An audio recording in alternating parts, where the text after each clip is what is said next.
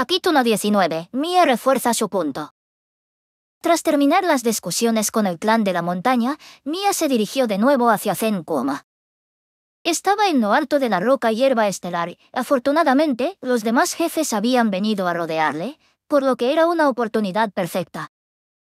Pensaba perder, así que no había pensado en absoluto en cómo abordar esta conversación, pero ahora que he ganado, debo aprovechar la oportunidad para exponer mi punto de vista. Mie hizo una marcha imperiosa hacia los jefes. Pero, de repente, se dio cuenta de que todos sus ojos estaban fijos en ella, como si fuera la mismísima luna. ¡Ah! Bueno, después de todo soy la ganadora del emparejamiento. Es natural que atraiga su atención. Mia tardó algo más de un instante en deleitarse con todo aquello. Luego, recuperó la concentración. Dicen que una comida compartida dura hasta el último bocado de pastel del postre.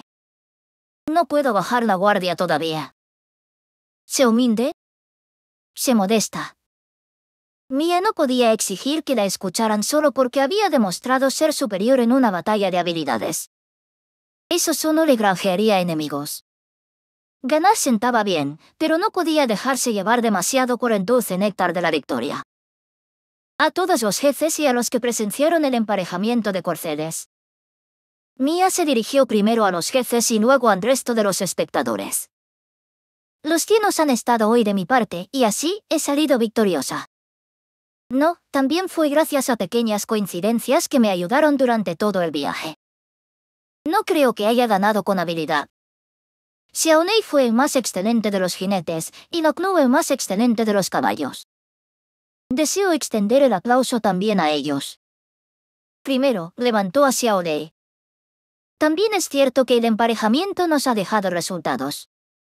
Usando las palabras de su gran fundador, Colón, las opiniones divergentes solo se combatirán durante el emparejamiento de corceles. Después, acatemos lo que ha ganado. Al mismo tiempo afirmó que ya se había determinado que el clan del fuego sería bienvenido y añadió algunas palabras que Xiaolei había compartido con ella. Usando las palabras de su preciado fundador, Mia reforzó su punto de vista. La autoridad siempre podía tomarse prestada, y hacerlo era uno de los trucos más antiguos de Mia.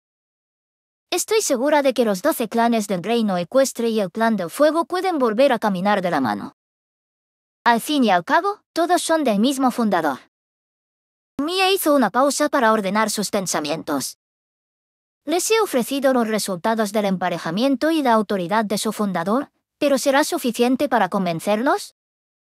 Después de pontificar un poco, encontró la respuesta. De hecho, no era suficiente. Mia recordó una excusa habitual no intentamos, pero no funcionó.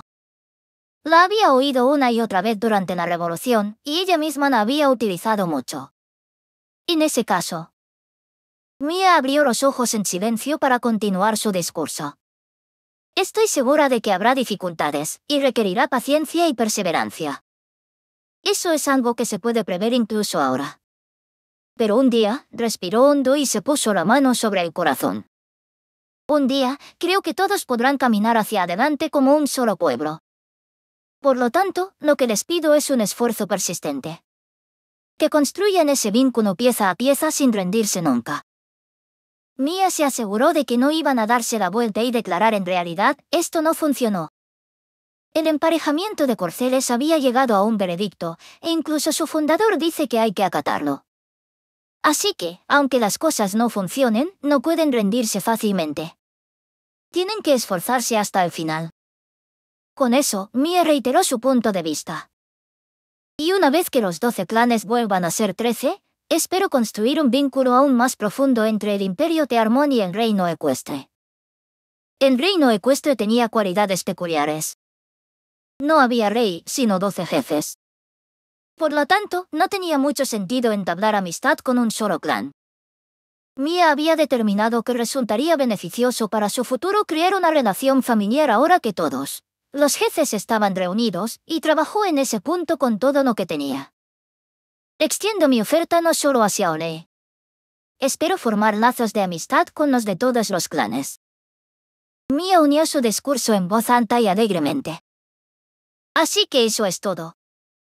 Perfecto. Mia se sentía increíblemente orgullosa de sí misma. Fue entonces cuando Ludwig se acercó corriendo. ¡Oh, sí! Esta vez sí que me he superado.